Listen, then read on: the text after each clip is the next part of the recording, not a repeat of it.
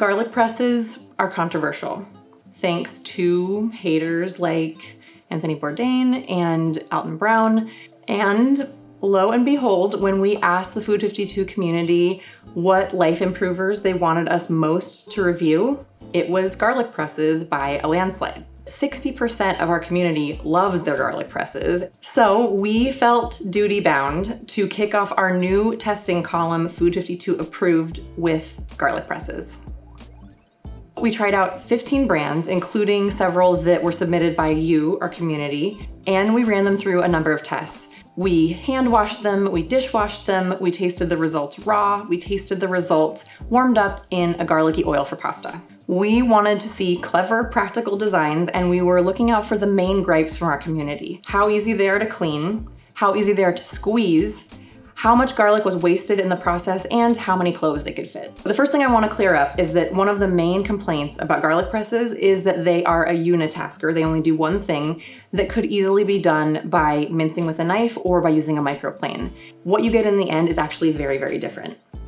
And the reason why is because of a compound called allicin, which is what is created when you break up the cell walls of garlic and it gives garlic that really pungent flavor. So the more that you rough up those cells, the more pungent your garlic is gonna be. So a clean cut mincing with a knife is going to generate less allicin than a garlic press, which kind of crushes it on its way out, which is going to generate less allicin than a microplane. And you can really taste the results if you go side by side with each of these. So if you love a garlic press, we wanted to help you out, so here are our favorites from our testing. Our first pick is the classic.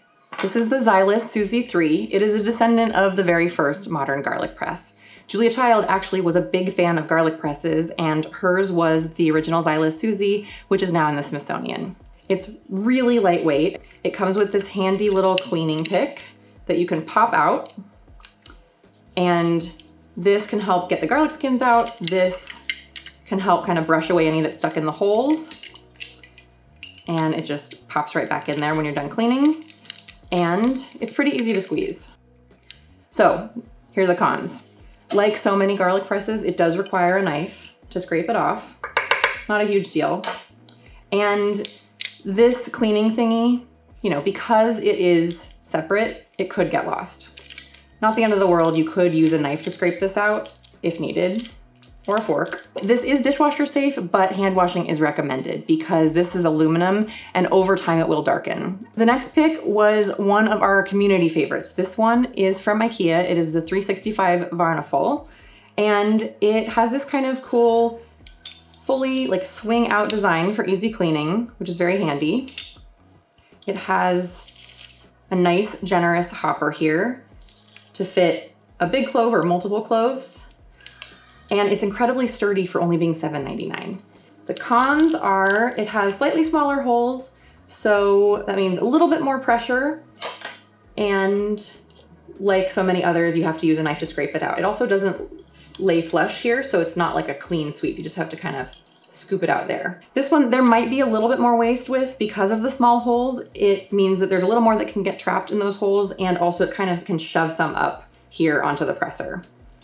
The award for easiest to clean goes to the Dreamfarm Garject because unlike most of these presses, you don't need a knife to scrape it clean. It has some pretty clever designs to do that automatically. So once you've pressed it with all that stuff that might still be stuck there, as you open it up, this little squeegee thing scrapes it clean. Once you scrape it off, these little teeth push the rest back out and then this little eject button pulls out the peel.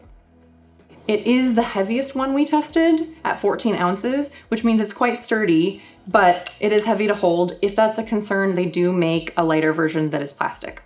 And now for the easiest to squeeze. This is the Männkitchen double lever assisted garlic press. So this one definitely takes the least pressure in pressing out the garlic cloves, even with multiple cloves. There's some very smart engineering going on in here. This one does require a knife like so many others, but when you do get it open, that basket pops out and you can just kind of nick the skin off.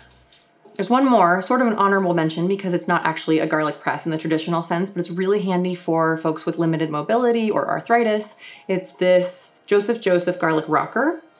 One con is that you do need to use peeled cloves to start with, but I discovered this other handy tool in my testing, this silicone garlic peeler.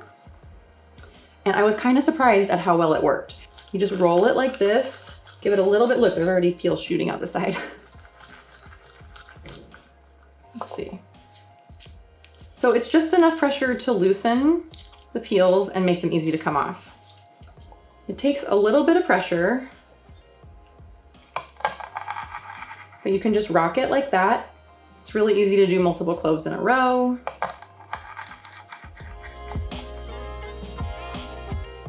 It does give you a fairly chunky mince and some of the middle pieces kind of come out like sticks.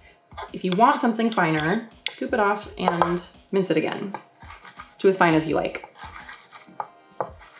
And then when you're done, just scoop it all off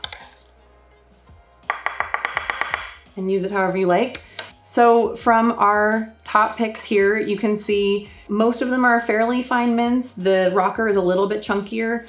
The finer you go, obviously, as we said before, the spicier the garlic will be. But I have to say, in tasting all of these results, the difference between garlic presses was relatively minimal. You know, there'd be one brand of garlic press here, one brand here, and then the microplane was like way up here. It was like instant fire in your mouth.